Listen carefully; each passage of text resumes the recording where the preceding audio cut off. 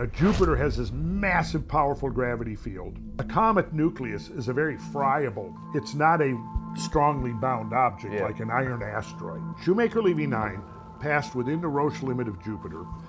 The really powerful gravity field of Jupiter ripped it apart, and what had been one nucleus broke into 21 separate objects. Those 21 separate objects then began to spread out in a so called string of pearls, and that made one orbit around the Sun, came back out, and crossed, intersected the orbit of Jupiter at precisely the time Jupiter was there. Most likely, what had been happening is you know, it had been orbiting Jupiter dozens, if not hundreds of times, and every time getting a little closer. Every time it went out there, it was drawn in a little tighter.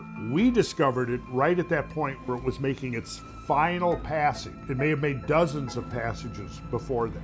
I think the second week of July 1994, those 21 pieces Impacted Jupiter. impacted Jupiter. Yes, And and, that- that was six- one of them. And that like was what you said. 600 times the entire Yes. nuclear arsenal on Earth in terms of its destructive force.